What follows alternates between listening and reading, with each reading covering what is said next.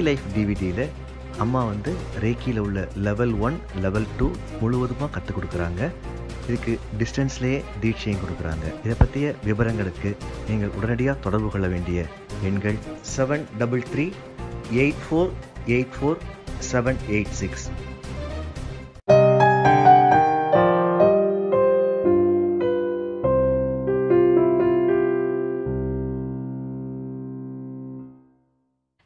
குருச்சரணம் எனது ஜனஜனஸ் பிள்ளைகள் எல்லாரும் எல்லா வளமும் பெற்று வளமோடு வாழணும்னு இந்த அம்மா வேண்டிக்கிறேன்.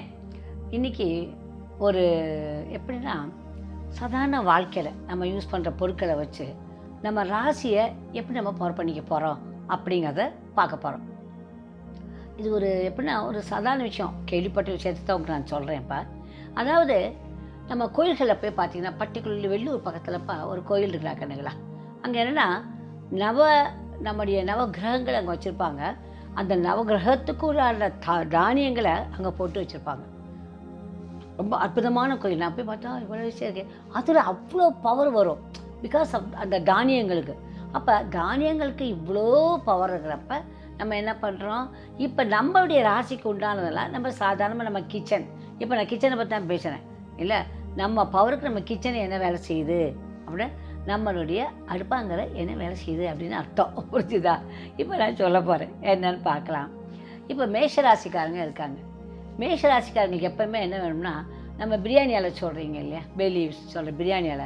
அதை எப்போவுமே கிச்சனில் என்ன பண்ணணும்? வச்சுருக்கணும்னு அர்த்தம். எங்கேயும் வச்சுக்கூடாது. உங்கள் அச்சர அஞ்சரை பெட்டியில் ஒரு பிரியாணி இலையாக போட்டு வச்சுக்கணும்.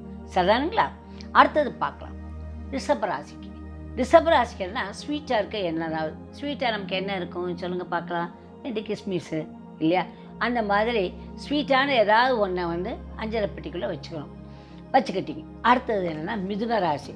சாதாரண கடுகு. அது எப்படி அஞ்சரை பெட்டியில் இருக்கும் நமக்கு பிரச்சனை இல்லை. அடுத்தது என்னென்னா கடகராசி இந்த கடகராசிக்காரங்க என்னென்னா அரிசி கொஞ்சோண்ட போட்டு அவர் ஒரு தனி கிண்ணத்தில் தான் போடணும். அரிசியை போட்டு அதை அஞ்சாறு உலர்ந்த வேப்பிலையை போ உலர்ந்த வேப்பிலையை போட்டு வைக்கணும். புரிஞ்சிச்சுங்களா? அரிசியை போட்டு காஞ்ச வேப்பிலை ரெண்டு துண்டு அரிசி போட்டு தனியாக ஒரு ஓரமாக வச்சிடணும். சாதாரண கடுகுல இது ரொம்ப ரொம்ப அவசியம். கடகராசிக்காரங்களுக்கு. அடுத்தது வந்து சிம்ம ராசிக்காரங்களுக்கு ஒரு வெள்ளத்தை போட்டு வச்சுக்கணும். ஒரு துண்டு வெள்ளம் போட்டு வச்சுக்கணும். இது வந்து சிம்ம ராசிக்கு இப்போ கன்னியா ராசிக்கு கன்னி ராசிக்கு என்ன பண்ணணும் அப்படின்னா மஞ்சள் கடுகு. அந்த மஞ்சள் கடுகு வைக்கிறாங்க. அதை வாங்கி ஒரு அஞ்சாறு போட்டு வச்சுக்கணும். தனியாக வச்சுக்கணும்.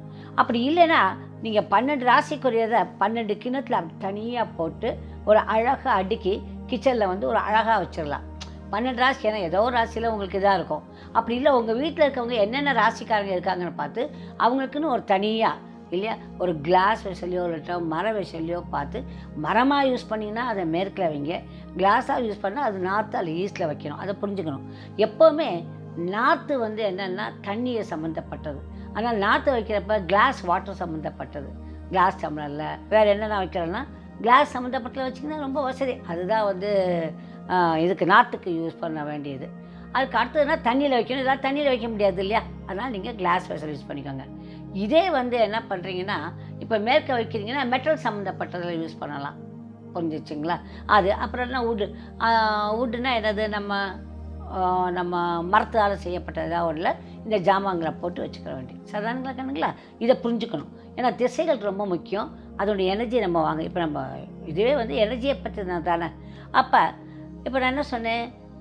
இவங்களுக்கு வந்து கடகராசிக்காரங்களுக்கு அரிசி சொல்லியிருக்கேன். அரிசியில் ரெண்டு காஞ்சி வேப்பிலை போட்டுக்கிறீங்க அடுத்தது சிம்மராசிக்காரங்களுக்கு வெள்ளத்தை போட்டு வைக்கிறீங்க.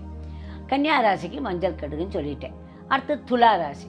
துலா ராசியில் என்ன பண்ணோம் கொஞ்சம் அரிசி அதில் வந்து ஒரு நாலு அல்ல மூணு ஏலக்காய். அவங்க குசாயம்னா பார்த்துக்கோங்க அந்த குசாயனுக்கு தகுந்த மாதிரி அதில் வந்து ஏலக்காயில் போட்டு வச்சிடணும். You have to utilise that Kusha number யாருக்கு?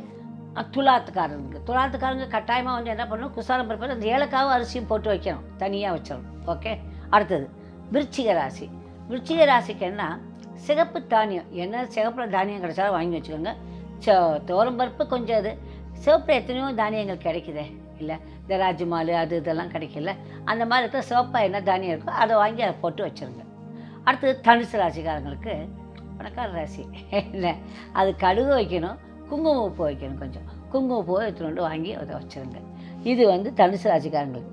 மகர ராசிக்கு கருப்பு மிளகு. மகரம்னாலே கருப்பு மிளகை வந்து கொஞ்சம் அது நம்ம டப்பா அது நம்மளுடைய இந்த டப்பாலேயே இருக்கும். அதை வச்சுப்பீங்க. கும்பராசிக்காரர்கள். அவங்களுக்கு வந்து கடுகையும் கருவேப்பிலையும் தனித்தனியாக வச்சுக்கோங்க. காஞ்ச கருவேப்பிலையும் கடுகையும் வச்சுக்கோங்க. மீனராசி. மீனராசிக்கு என்னென்னா மஞ்சள். மஞ்சளையே வாங்கி வைங்க. நல்ல கஸ்தூரி மஞ்சள் ஏதோ தனியாக வாங்கி வச்சுக்கோங்க. நான் என்ன சொல்லியிருக்கேன்னா இப்போ இதெல்லாம் வைக்கிறீங்கன்னா ஒரு பன்னெண்டு செட்டப் பண்ணிக்கோங்க. பன்னெண்டு வருஷத்தில் அப்படி செட் பண்ணி அழகாக ஒன்று கூட அப்படி அடுக்கி தனியாக அதுக்கு வச்சுருங்க.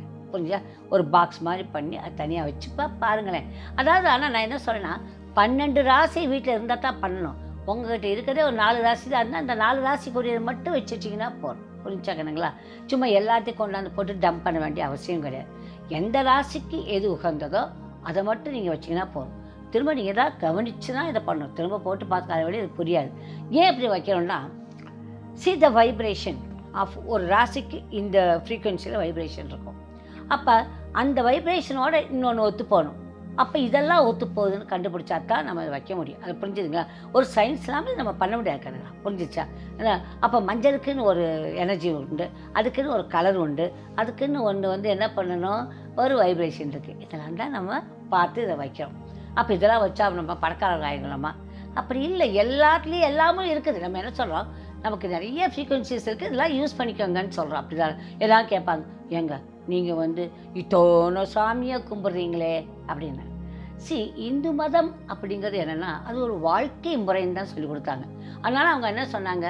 அண்ணன் தம்பி அம்மா அப்பா மாமன் மருமகன் இல்லையா? இந்த மாதிரி மைத்தன் இந்த மாதிரி வாழணுங்கிறதுக்காக வந்து ஒரு சிஸ்டத்தை ஏற்படுத்தியிருந்தாங்க. அதுதான் வந்து முருகன் விநாயகர் பரமசிவன் பார்வதி அப்படி நிறைய வந்து அந்த காலத்தில் வந்து கொண்டாந்தாங்க. நம்ம முனிவர்களும் ரிஷிகளும் கொண்டாந்தாங்க. வேதங்களில் வந்து அதை பற்றி சொன்னாங்க. நல்லா புரிஞ்சுக்கோங்க. இதெல்லாம் கொண்டு வந்தாங்க. அப்படி பார்த்தா நீங்கள் மற்ற மதங்கள்லேயுமே நிறைய பிரிவினைகள் இருக்கு இல்லையா? அந்த பிரிவினைகள் இப்போ கிறிஸ்டியான்ஸ் இருந்தால் அப்படி இருக்கலாம் முஸ்லீம்ஸ் இருந்தால் அப்படி இருக்கலாம் அப்படி நிறைய இருக்கும். அதுக்கு பிறகு இவங்க என்ன பண்ணுறாங்க தெய்வங்களாக காட்டுக்காங்க இந்து மதத்தில் இந்து மதம் அப்படிங்கிறது தான் ஒன்றே ஒன்று இல்லையா? அதில் வந்து பிரிவுகள்ங்கிறது வந்து இது க இப்போ பிரிவுகளில் வந்து எல்லாமே வந்து இந்த கடவுள்களை சுற்றி தான் வரும் இல்லையா? சோமாரங்கிறது வந்து முருகனை சுற்றி வரும் இல்லையா? அந்த மாதிரி ஒவ்வொன்றும் வந்து சுற்றி அந்த கடவுளை சுற்றியே வர்றதுனால இந்த மாதிரி ஐட்டங்கள் நம்ம பண்ணுறப்பயே அது ஒர்க் அவுட் ஆகுங்கிற அர்த்தம். புரிஞ்சுச்சாங்கங்களா இதுக்காக நம்ம ஏங்க இதெல்லாம் மூடத்தரம் இல்லையா? நீங்கள் ஒரு டாக்டர் ஆச்சு. நான் திரும்ப திரும்ப இந்த டாக்டரை தான் கொஞ்சம் மறந்து வைங்க. ஒன்றும் பிரச்சனை இல்லை. டாக்டருக்கு இதுக்கு சம்மந்தம் இல்லைக்கண்ணா எல்லா டாக்டரும் சாப்பிட்டு தானப்பா ஆகணும் இல்லையா? அந்த சாப்பாடு மட்டும் இல்லை. நமக்கு ஒரு டாக்டருக்கு ஒரு வைப்ரேஷன் இருக்கிறது தான் நான் டாக்டராகவே ஆனேன் அவ்வளோ ஈஸியாக ஆயிட முடியாது எல்லாரும் டாக்டராக அது இந்த காலம் நீட் எழுதணும். ரொம்ப பிரச்சனை. ஆத்தாடி நீட் நினச்சா எனக்கு பயமாக இருக்குது அந்த காலத்தில் நாங்கள் எழுதணும். என்ட்ரன்ஸ் எக்ஸாமினேஷன் இல்லாமல் எங்களுக்கு வந்து டிஜிஓ எனக்கு கிடைக்கல? இல்லை அந்த காலத்து என்ட்ரன்ஸ் வந்து எக்ஸாம்பிளாக எனக்குலாம் வந்து வைஓசி இருந்துச்சு. எங்களுக்கு ஓரலாக கேட்டாங்க எம்பிபிஎஸ்க்கு அதுக்கப்புறம் தான் மற்றதெல்லாம் வந்துச்சு. இப்போ எம்பிபிஎஸ் கிடைக்கிறதே கஷ்டம். அதே போல் தாங்க ஒரு ஆக்டராக இருக்கிறது கூட அவ்வளோ ஈஸி இல்லை. அப்போ ரொம்ப கஷ்டம். ஏன்னா ஒரு பக்கம் அவங்க பல இடத்துல அவங்க வந்து கொடுத்துருக்க கால் சீட் அந்த பாடங்கள் ஒப்பிக்கணும் இல்லையா? நம்ம இஷ்டத்துக்கு பேசிட முடியாது. அப்படின்னா அவங்கள்ட்ட இஷ்டத்துக்கு பேசுகிறேன் இல்லை.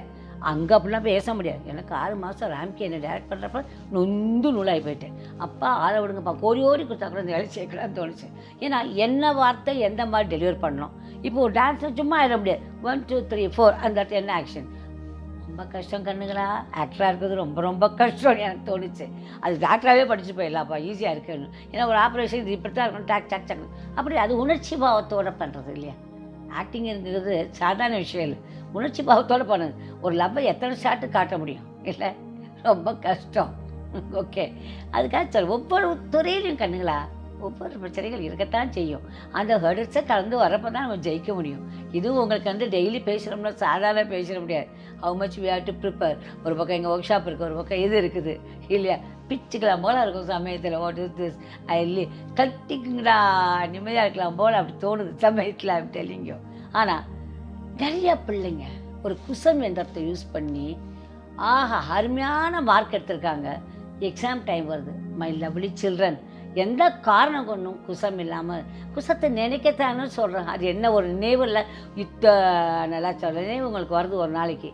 ஆ? அந்த நினைவுகளில் ஒன்றே ஒன்று இந்த குசத்தை எக்ஸாம் டைம்னு நினச்சிக்கோங்களேன். குசம் வரைகிறது என்ன கஷ்டமா? அந்த குசத்தை வந்து ஒரு இன்ட்டு போட்டிங்கன்னா நாலு புள்ளியை வச்சிங்கன்னா கொஞ்சம் மஞ்சள் ஒரு ரெட்டில் நினச்சிட்டு போனீங்கன்னா அந்த எக்ஸாம் நல்லா இருக்கும்னா உங்களுக்கு காசா பணமா நஷ்டமா? செய்யுங்கடா கண்ணுகளா. புரிஞ்சிச்சா? புரிஞ்சுதா? கரெக்டாக எக்ஸாம் போகிறப்ப எல்லா பிள்ளைகளுக்கும் சொல்லியிருக்கேன். குசாம் குசாம் குசாம்.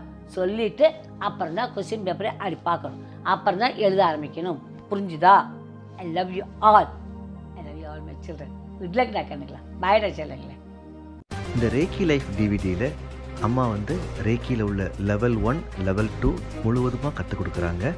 இதுக்கு டிஸ்டன்ஸ்லேயே தீட்சையும் கொடுக்குறாங்க. இதை பற்றிய விவரங்களுக்கு நீங்கள் உடனடியாக தொடர்பு கொள்ள வேண்டிய எண்கள் seven double three eight four eight four seven eight six